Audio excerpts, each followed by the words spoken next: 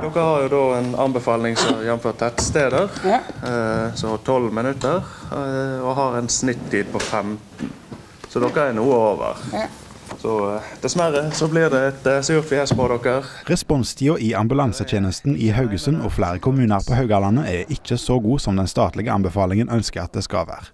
I den anledning er Ambulanseforbundet Delta og LHL på en landsomfattende turné for å informere kommunene om statistikken. Nå har vi eh, i løpet av denne kampanjen skal innom eh, 86 kommuner. Av disse respektive 86 kommunene så får 75 av de stryk, altså de er over sin anbefalte responstid. Haugesund, som er tettsted, har en anbefalt responstid fra eh, Helsedirektoratet på en 12 minutter. Ligger eh, reelt sett på en eh, 15 minutter, så eh, tre minutter over det som er anbefalt tid for, for byer. Nabokommunene følger nok eh, samme mønsteret og ligger, eh, ligger noe over det som er, er kravene. Eh, Grisgrendte strøk utenom tettsted vil ha et eh, anbefalt krav på eh, 25 minutter, som, eh, som man da ikke klarer eh, mange steder. De negative tallene kom som en overraskelse for varaordfører May-Britt Wihovde. Hun mener spesielt at infrastruktur er hovedgrunnen til de dårlige tallene. Vi vet jo det at Karmsundsgata i Haugesund er en stor barriere. Eh, Det viktigste for en ambulanse er jo når, å rykke ut og komme seg ut til pasienten så raskt som mulig. Eh, Få stabilisert pasienten. Om det tar litt lengre tid for å komme seg inn til sykehuset, men da er iallfall pasienten trygge.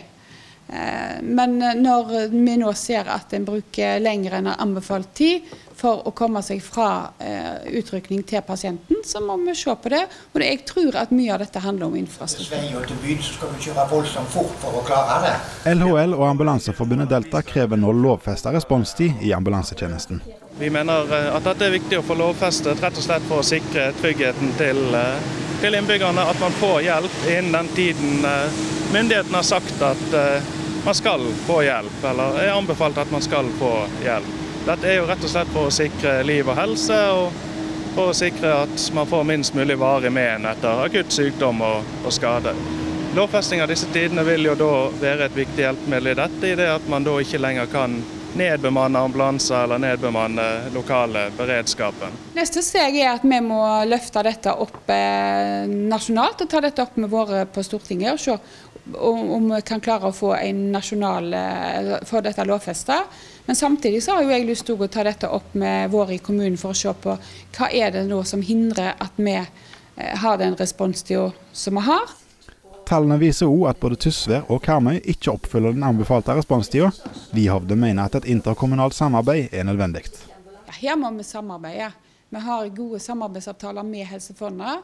Vi har en felles legevakt, eh, og vi har felles eh, ambulansetjeneste. Altså Helse Fonna gir oss de tjenestene. Så har vi, når vi har dårlig responstid i kommunene, så må vi samarbeide med dette for å legge trykk imot sentrale myndigheter og Helse Fonna. Interessant. Dette skal vi ta med oss. Tusen takk for at du tok deg tiden Ja. til å møte oss.